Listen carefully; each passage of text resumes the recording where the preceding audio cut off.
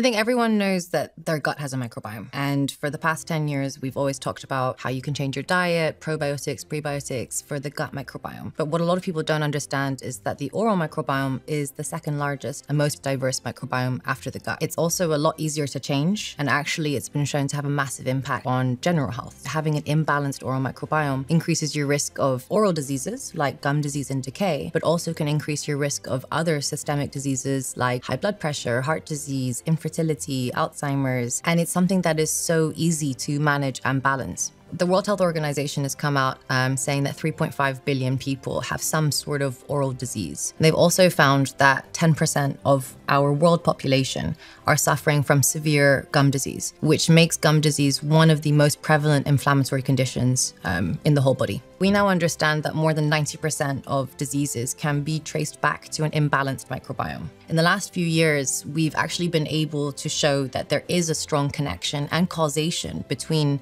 the oral microbiome and general diseases. Whereas prior to maybe five years ago, there was a lot of kind of is this correlation? Is it just that, okay, there's the same risk factors with gum disease and with heart disease, for example, smoking? And now we're actually seeing that no, it's not just correlation, there is strong causation between the two if you um, have heart surgery, you can't actually have a hygiene for about six months after the heart surgery. And the reason for that is because you're at a very high res- risk of something called infective endocarditis. So, this is oral bacteria which travels down to a faulty heart valve um, and can actually cause death.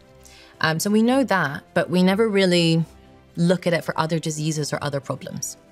So then I realized that actually it's not just bacteria that causes disease or problems, it's how your body responds to that bacteria and the strains of bacteria that you have as well. So for every bacteria, um, there'll be multiple strains, and some of those strains can be really aggressive and really horrible for your mouth, and other strains are completely fine and are not going to cause you any problems. So when I developed my test, what we did is we looked at strains. So we looked at the strains of certain bacteria, um, and we would be able to differentiate between patients who had the really bad strains and the really good strains. But then also we looked at the ratio of good and bad bacteria in someone's mouth, so their diversity, as well as their genetic mutations and also their inflammation. So when you put all of it together and you, it's like a puzzle piece, then you can actually have a better insight into someone's oral health. So I guess my answer is that everyone's oral microbiome is a little bit different, but it's also how your body responds to that microbiome and bacteria that really dictates whether or not you're going to have disease or problems. And okay. I see it every day. And we have a lot of patients who suffer from terrible gum disease and they come to me and they brush three times a day. They've never touched a cigarette. They have immaculate oral hygiene. They eat very well but they have terrible gum disease. And for those patients, they might have genetic mutations that predispose them to gum disease and to inflammation. So even the smallest amount of bacteria, their body responds in a very aggressive and inflammatory, destructive way, which can cause disease. What's interesting or different between the oral and gut microbiome? The oral microbiome if someone doesn't go in there and mechanically disrupt the bacteria and the plaque in your mouth, then that bacteria can stay forever. So the gut, what happens is you've got something called peristalsis, you've got movement. So the bacteria moves, it, it changes, it regenerates, there's turnover. In the mouth, so the teeth are the only non-shedding surfaces in the whole body. So that non-shedding means, surfaces. So imagine if you if you never had a shower in, in your life, uh, you would still self-wash because the skin cells would shed. Mm. But if you never brushed your teeth, then your teeth are not shedding. They're going to stay like that. So that bacteria will just keep on growing and growing and growing and growing, and you'll get this really thick plaque. So that's why actually the oral microbiome, you need to mechanically remove that bacteria. And that's why brushing your teeth is super important or um, using the correct toothpaste or etc. or going and seeing your hygienist because you need to mechanically remove that bacteria quite regularly. I have so many patients who say, oh, you know, my gums bleed, but that's normal if your eye bled or if your foot was bleeding every day, you would be worried and you would think, actually, there's inflammation here, there's a problem here. But so many people have bleeding gums and they don't understand that bleeding gums is a sign. It's your gum screaming to you saying that I have inflammation and that inflammation can travel. And then the third mechanism as well, so there's one more, is um, it's damage to your blood vessels. So, again, the same bad bacteria in your mouth, it releases these enzymes, these toxic enzymes, and they can travel through the rest of your body, through your blood vessels, and they can actually damage your blood vessels. So, these blood vessels are not able to dilate and constrict as well as they used to. Yeah.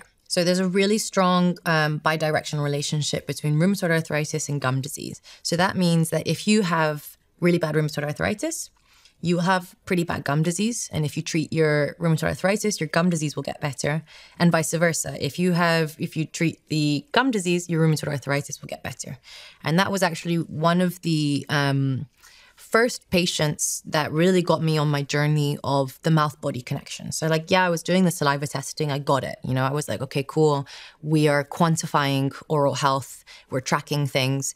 But even me, I wasn't really fully sold on this whole mouth body connection, how our mouth is connected to the rest of the body. So I had a patient who was sent to me by um, her functional medicine practitioner. And she had been seen by uh, four or five different practitioners. She had terrible rheumatoid arthritis, and she um, went to this final guy, and he was the first guy to ever ask her, Have you ever had your teeth checked? What's happened? And she said, Oh, I've had a few teeth taken out in the last year or two, about six teeth. But you know, it's just it, it is what it is. And he was like, I, I don't think that's normal. So he sent her to me and he was like, Can you do your saliva stuff that you do and see if there's anything up eh, going on there? And we did do a saliva test. We saw that she had super high levels of inflammation, of collagen breakdown, um, high levels of bad bacteria. And what was the most important was that when I treated her gum disease, she had terrible gum disease, and that's why she was losing her teeth. When I treated the gum disease properly and aggressively, um, yes, her gums healed, but more importantly, her rheumatoid arthritis got better to the point where she was actually able to get off steroids and medication and be able to walk again. So, um, the research has shown that if you have gum disease, you are at a 20% higher chance of high blood pressure. Um, but also, they are now saying that up to 30 to 40% of cardiac um, issues in hospital can be traced back to an oral bacteria um, causing problems in the heart valve. Um, so, the reason for this connection so, yes, inflammation, but also going back to that third mechanism I told you, which was about the vasoconstriction, so the blood vessels constricting and dilating. So these toxic enzymes, which are being released by the bacteria, they travel through the blood, um, and they basically stop the blood vessels from being able to widen and lots of blood to travel to the heart and also to constrict. And that also is um, one of the biggest connections with uh, heart disease. And then at the very end of the spectrum is people who are losing their teeth having really terrible gum infections, and all of these kind of mouth body connections that we're talking about. It's strange is that green tea, um, you know, something so simple is extremely effective at killing Fusobacterium nucleatum. So it's just knowing those types of things, being able to do the test, knowing the right treatment plans and recommendations based from that. We know green tea is good for us, and now we can really understand why. Um, it helps with what we call oxidative stress. So this is um, basically stress for the body, um, and it's antibacterial. So it actually is very effective at killing Fusobacterium nucleatum. What is your opinion of the impact that coffee has on my oral microbiome? I'm slightly biased because I love coffee. Okay. Um, but there is no negative impact of coffee on the oral microbiome directly. Um, coffee does dry your mouth out. Um, and so you have reduced saliva, and that can actually cause problems for the oral microbiome. So the saliva is super important in your mouth. It provides all of the food, the proteins, everything for the bacteria in your mouth. So it's kind of like this delivery service, your delivery it's traveling around, providing all the food and bacteria, um, sorry, food to the bacteria. And that's what keeps the good bacteria alive and happy.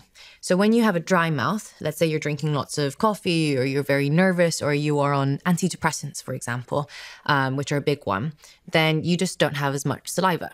So you those bacteria don't have as much food and those bacteria die and then you get bad bacteria growing in replacement. Uh, another thing with sugar is um, I have a sweet tooth. I love sugar, but it's about how you eat your sugar. So let's say if you have your hot tea with five lumps of sugar in there and you're sipping it over an hour or two, that's where you start to see a lot of problems. So actually, you need to be having a sugar attack. So just all the sugar in one go. And that way, your mouth has all the sugar in one go and it's able to neutralize the saliva and get back to a good state as quickly as possible. Every time you sip your your tea with sugar, what happens is that the saliva has to go from acidic back to neutral, acidic back to neutral, acidic, and then it starts to just not work properly and the saliva just stays acidic and that's where you start to see decay. Down the tea or i don't know if you're a m&m guy have all your m&ms in one go. Don't snack on m&ms every 10 minutes.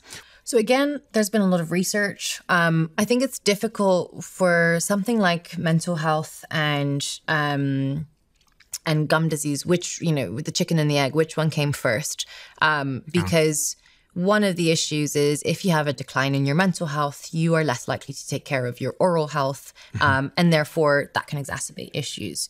So there has been a lot of research to show that you know uh, there's a correlation between mm-hmm. poor mental health and poor oral health, but in my personal opinion, that causative connection is not there yet.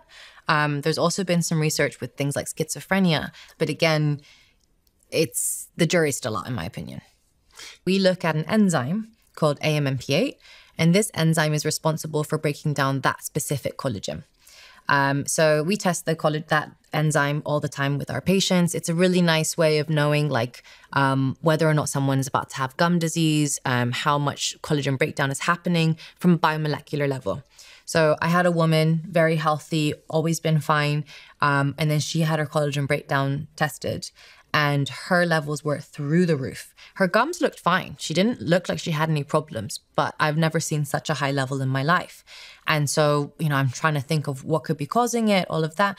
And she had lost her baby a couple of days before. And that type of intense stress on someone's body can have so many res- effects and impacts on the rest of your body. Um, and that was one of them. When we retested her six months later, she was back to normal again. But you can see even your mouth, you know, stress can really impact you.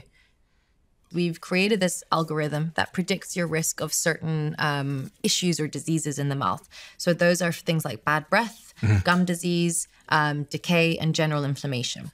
So a lot of people don't actually know how to brush their teeth, number one. Number two, we often don't brush for as long as we think that we are. So we're meant to brush for two minutes.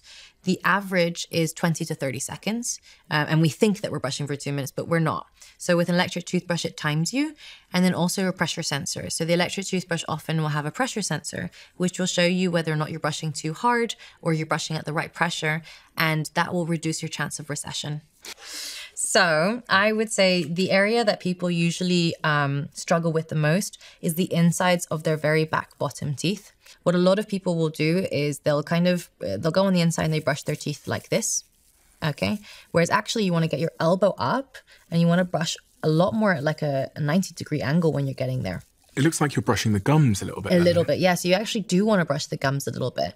And then when we're on the outsides of the teeth, uh, we want to kind of brush at a 30 degree angle. So rotational movements and at a 30 degree angle. So not straight like a 90 degree, but kind of towards the gum margin. And by doing circular mo- uh, movements, we're essentially kind of massaging the gums and getting rid of the bacteria from under the gum and then flicking it out. Okay. Yeah. So just like that. And then I always tell everyone it's really important to kind of have um, a method behind your toothbrushing. So don't go like brush and then go there and then up there and, you know, because you'll never brush properly. Um, so always start, let's say, on the left hand side, go do all the outsides and then do all the biting surfaces and then do all the insides and then do the same on the top teeth as well. And that model there, you've got another model in front of you, which is like a see through model. Yes. What does that show us? Um, so this is to show you um, what an implant looks like. A lot of people don't know what implants look like um, and how it looks like if it was within your jaw. Mm-hmm. Also, what all the roots look like. And then also, if you look on the other side, you can see um, this tooth which has the black within it. Yeah. Um, and it's got like a red bubble at the root of it. So this is a tooth that's had a root canal done to it and has an infection at the root of that tooth. So that's an abscess.